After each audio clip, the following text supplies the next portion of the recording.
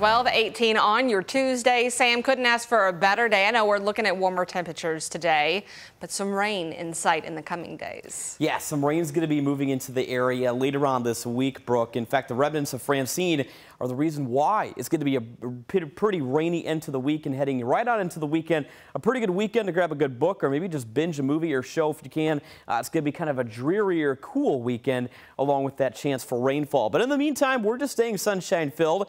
Get out and enjoy that sun while you can. Yesterday at Ali International, we clipped 82, and later on throughout the course of late last night, early this morning, uh, the mid 50s was the coolest we dropped down to at the airport. And so far, we've been hovering at 78 at Ali International as we've gotten into the lunch hour. Lanesville sitting at 76 degrees today. And all in all, it will be a quiet remainder of the day today. And frankly, all of midweek will be quiet. Uh, notice that east and southeast wind flow outside we do have some pretty dry air still underway for the remainder of Kentuckiana. So today, 87, likely the high temperature.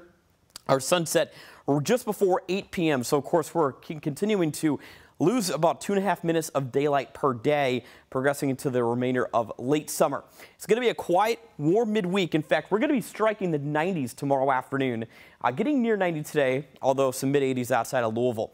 End of week rainfall, you know, for the remnants of Francine, like I just mentioned. And so far, the rainfall tracker does have the first couple of bands from Francine moving through into Thursday evening and uh, late Thursday night. Friday into Saturday morning is also looking to be the main timeline of some heavier bouts of rainfall as well. Now, regionally, we're staying really quiet with this big old ridge of high pressure continuing to stir in sunshine filled air, light wind, low humidity. But you look down to the south right now, this is where Francine is really gaining strength. The Gulf of Mexico waters are extremely warm right now, so there's a lot of energy for Francine to be working with. And we're noticing some bands of heavier showers and a brief rumble of thunder from New Orleans and just south of the Louisiana coastline from Corpus Christi towards Brownsville, Houston included. So Francine will be making more of a northeasterly trajectory and track and right now, the National Hurricane Center does have Francine as a Category 1 hurricane striking uh, the Louisiana coastline with the Gulf of Mexico. There could be some updates in the near future, though, that do bring it in as a Category 2 hurricane as it makes landfall with Louisiana. So we're watching the tropics very closely, and the tropical storm will be impacting western Kentucky and bringing bouts of rainfall locally into Friday and the weekend. So luckily today and tomorrow staying sunshine filled. We need the rainfall though, keep in mind, we're finally going to be seeing that as we get into Thursday night. Thursday, a sharp increase in clouds. We're going to be going from clear sky Wednesday night to kind of a partly cloudy sky Thursday morning.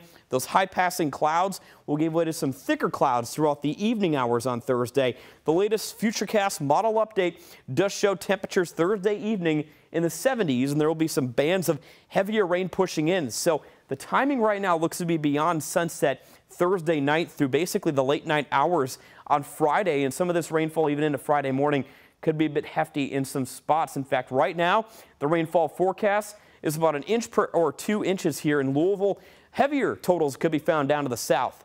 So again, we're going to be watching the evolution of uh, Francine very closely, but in the meantime, Friday and Saturday look to be rainy, and we're going to climb to 91 tomorrow after reaching 87 today.